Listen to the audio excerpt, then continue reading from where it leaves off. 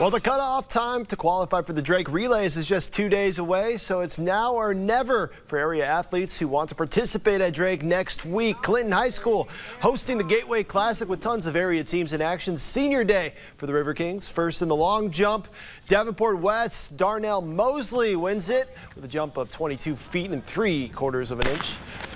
To the 4 by 110 meter shuttle hurdles, Clinton takes the top spot with a time of 1.05 seconds.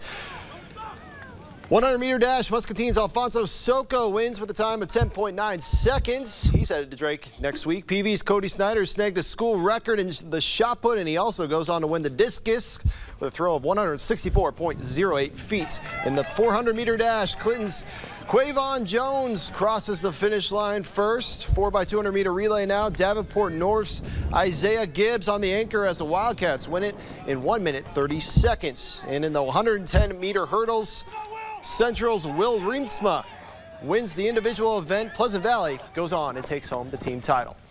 Well, it still might be early in the high school soccer season, but the Bettendorf girls find themselves undefeated and sitting at the top of the MAC standings. The Bulldogs hosting Central this evening, first half, 1-0 Bettendorf. Free kick for Paige Wagner, and she goes upper 90. Her second goal of the game, 2-0 Bulldogs.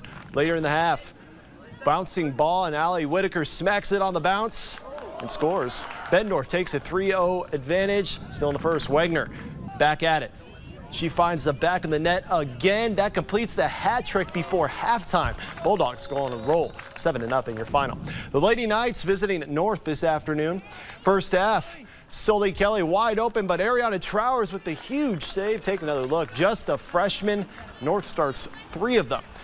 Later in the half, Livy Lansing on the break. No one is stopping her. Makes it 1-0 Knights. Just a couple minutes later, Lansing Passing it to Ellie Ivonic this time. She finds the back of the net, 2 to nothing assumption. At this point, the Lady Knights go on to win. 4 to 1 is your final. Western Big Six girls action. Moline and UT cruise to wins. The Panthers stay undefeated in conference play. A thriller in high school softball tonight. UT visiting Rockridge. We picked this one up in the 12th inning. Brittany LaFontaine thinks she has a go-ahead homer, but Katie Garrett ain't having any of that. Robs the home run. We head to the 13th. Panthers finally score. Landon, Landon, London Jackson with the sac fly. The Panthers score three in the inning. Here's the play of the night. Bottom of the 13th. Rockets trying to pull away within a run. Alexis DeFries, what a catch to halt the rally. UT wins 6 to 3 in 13 innings. The Bulls shocked pretty much everyone when they went into Boston and stole game one in the first round of the NBA playoffs. Game two tonight from Boston. Pick things up in the second quarter. Rajon Rondo to Jimmy Butler to Dwyane Wade. The big three connecting. Wade with 22 points in the game. Later, Rondo grabbing the rebound and then the full court pass to Butler Rondo, one rebound shy of a triple-double tonight. 11 points, 9 boards, and 14 assists. Fourth quarter, Bulls pulling away. Butler from downtown, he had 22 in the game. Bulls win 111 to 97. They head back to Chicago with a 2-0 series lead. Led by Christian Brito's big night, the Lumber Kings got back to winning Monday with a 5-4 victory to open up a three-game set with Wisconsin. A Tuesday matinee for Game 2 from Ashford University Field, and everyone gets a hug. Bottom of the second. Clinton trailing by one. Two on for Anthony Jimenez. Bye-bye. Three-run shot. That makes it three to one. Clinton, bottom of the fourth. There must be hail in the forecast because Connor Hale sends one fly into the clubhouse for a solo home run, giving the Lumber Kings a one-run advantage. Timber Rattlers tie things up.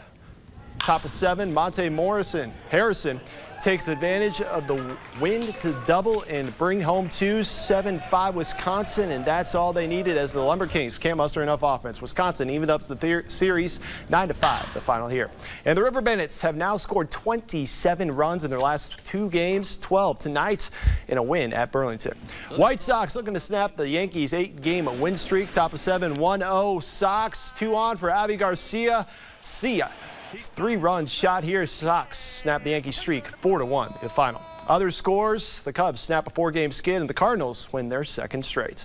That's it for sports. We'll wrap things up after the break.